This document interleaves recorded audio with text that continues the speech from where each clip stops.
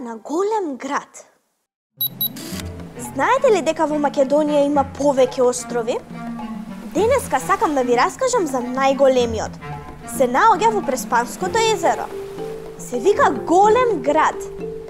Познат е и како Змиски остров, затоа што на него живеат змии. На овој остров денес нема луѓе, но на него може да се најдат повеќе градби од дамнешни времиња, кога бил населен. Островот е прогласен за природен резерват, бидејќи Јана! Погледни! Што е ова? Пиратски брод! Ама каков пиратски брод, Филип? Пират има само на море. Ова езеро.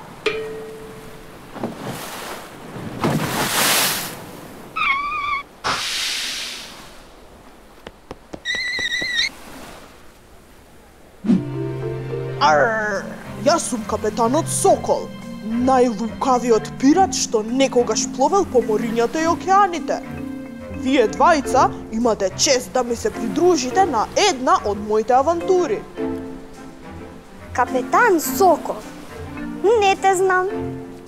Е. На вистина, прв пат слушам за тебе.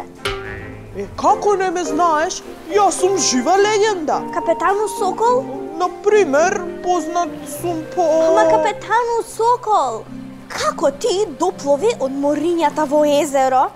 Езерата се обколени со копно. Те не излегуваат на море. Па види, прво пловев по Средоземното море и свртев лево кај Егејското море. И потоа, хм, свртев полукружно, па десно кај Јадранското море и потоа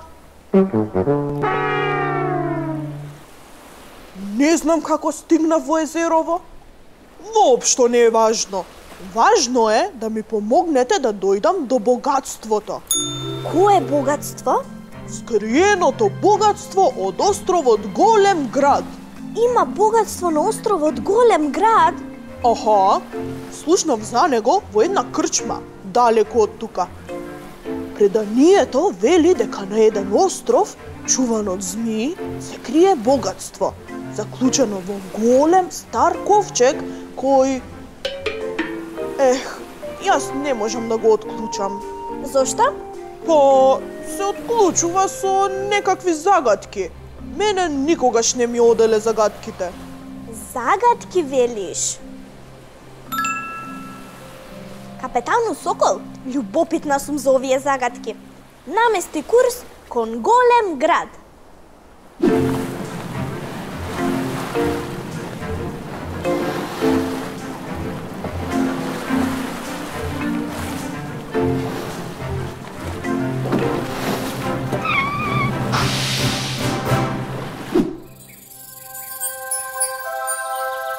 Еве го ковчегот со богатството. Нешто пишува на него. За да го отклучиш ковчегов, треба да го докажеш твоето знаење. Одговори точно на загадките и ќе бидеш богато награден. Да се обидеме да одговориме на загадките. Кој месец има 28 дена? Февруари!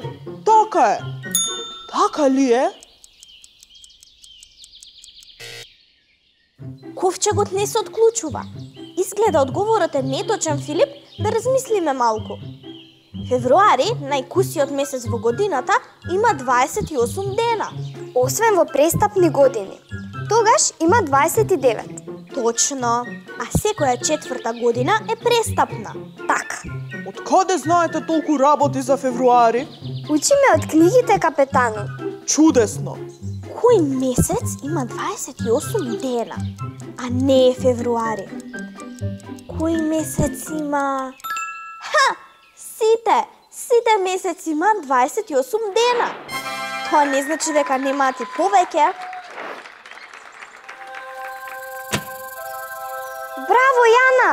Хр, колку итро! Одиме на втората загадка. Со кој изум може да погледнете низ зид? Уф, не знам, јас главно сум на море. Таму нема зидови. прозорец. Со прозорецот се гледа низ зидови. Одлично, Филип. Богатството на голем град ни е на дофат. Читај понатаму, Јана. Слушајте внимателно. Во мала кукичка на брегот понекогаш ќе најдете богатство. Што е тоа? Мала кукичка на брегот. Не видов никаква кукичка на брегот. Во мала кукичка на брегот понекогаш ќе најдете богатство. Школка. Одговорот е школка. Школка? Хо-хо, барем подводниот свет одлично го познавам, Филип. Школката е како мала кукичка, која може да ја најдеме во песокот на брегот. Во неа понекогаш има бисер. Бисерот е вредно богатство.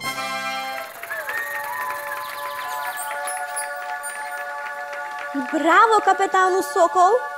Во ковчегот мора да има и лјадници бисери. Книги!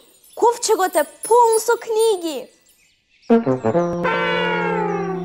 Каде е моето богатство?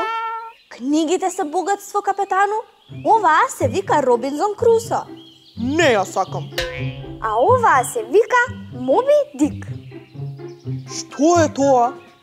Приказната за дуелот меѓу еден капетан и еден джиновски кит.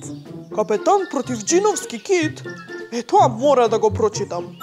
А во оваа има морски мапи од сиот свет. Како измислена за мене. Твоја е 20.000 мили под морето од Жил Верн. Едва и чекам да ја прочитам. Еве уште една.